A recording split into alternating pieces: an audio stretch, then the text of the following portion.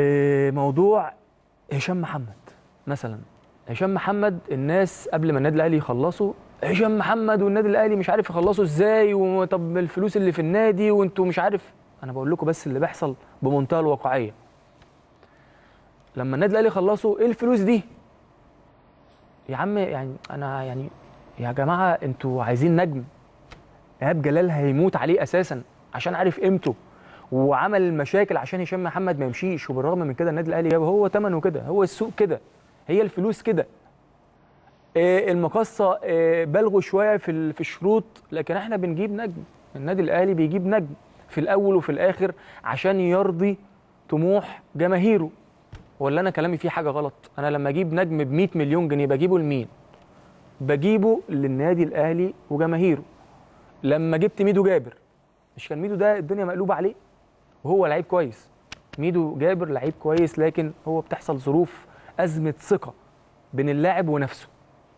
بتحصل كتير جدا جدا جدا. لكن ميدو جابر ده كان الناس عايزاه مطلب أساسي. دلوقتي الناس بيقولوا لا ميدو ومستواه ويطلع أعارة.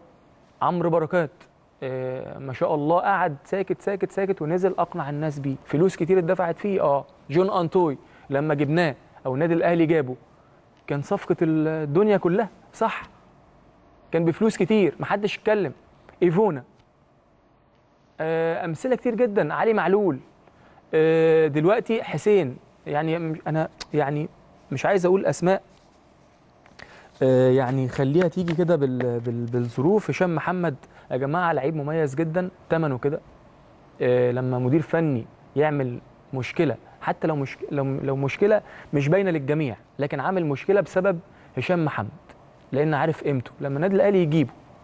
وأنت مش محتاج جون انطوي هتطلع لعيب أعارة كمان. وخدت فيهم فلوس. إيه المشكلة؟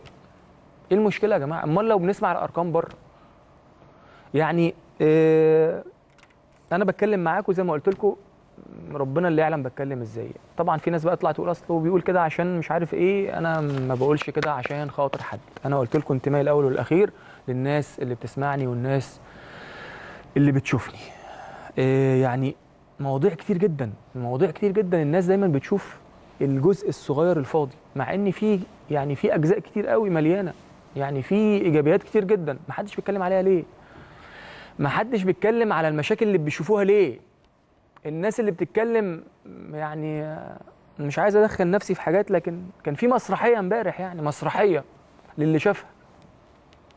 يعني آه، ما بتتكلموش على الكلام ده ليه يا جماعة؟ الكلام ده ما بتشوفوش في النادي الأهلي خالص.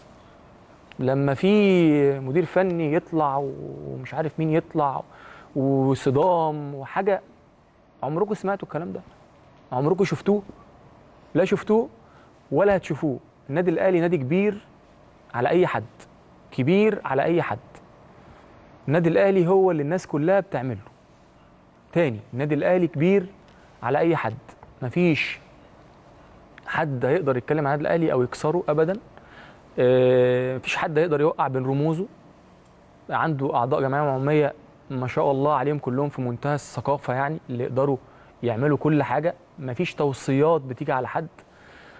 كله بيخدم النادي الأهلي. النادي الأهلي يا جماعة لما قال النادي الأهلي فوق الجميع اللي هو فوق كل الناس أو فوق كل الناس اللي شغالين فيه. فمش عايزين مش عايزين نشوف دايما الجزء الفاضي. يعني أنا يعني كنت عايز برضو يعني أتكلم في الموضوع ده من زمان إن